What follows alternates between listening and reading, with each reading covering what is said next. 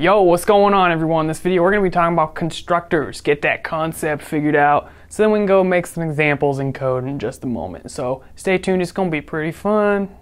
Pramp is a free mock interview platform where you can develop your technical interviewing skills. Practice coding with live execution of all major programming languages to solve real interview questions. Interview types include data structures and algorithms, product management, behavioral interviews, system design, front end, and data science. I've personally used this service to successfully crash course for a software engineering interview. Lots of people are having success getting positions at companies like Amazon, Google, Twitter, and more. Check it out, I'll leave a link for you guys in the description. Alright, so what in the world is a constructor? Well, a constructor is pretty much just like a method. So it's something we invoke, and there's a key difference. When you create a constructor, you don't put a return type. So no return. And the other difference is that the way we invoke it is with the new keyword.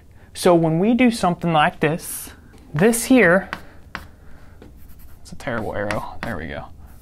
Oh, there we go.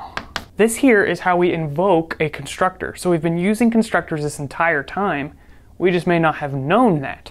And you see it looks really similar to invoking a method, but we prefix it with the new keyword. Inside of the user class, the way we define this is exactly the same as a method, but there's no return or return type. And the name has to match the class. So these match. And then in here we can define what the constructor does. Now why would you need this? Well, the primary reason of a constructor is so we can initialize the object with certain values. So for example, we could pass in a first and last name here, or let's just go with the first name because I don't feel like writing a bunch, of Caleb. Then inside of the constructor, what we can do is we can assign that value to the, the fields in this class. So we'll put that in a parameter here. We'll just call it string n. And then all we have to do is say first name is assigned the value n. So this is how we can get this value here to go into the variables for the class user. It's basically a way to make sure from the very beginning the user has valid values. Cool, so that's your intro. The other thing you should know is that by default there is an implicit default constructor. so that's going to just be like this. So when you say new user with no arguments, you're getting the default constructor. But if you create a custom constructor, so if, such as one that takes a string, the definition of this default constructor is no longer going to implicitly happen.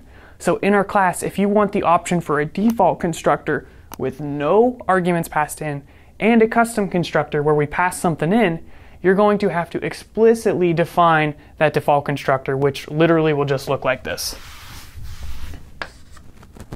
Super easy. You just got to remember that.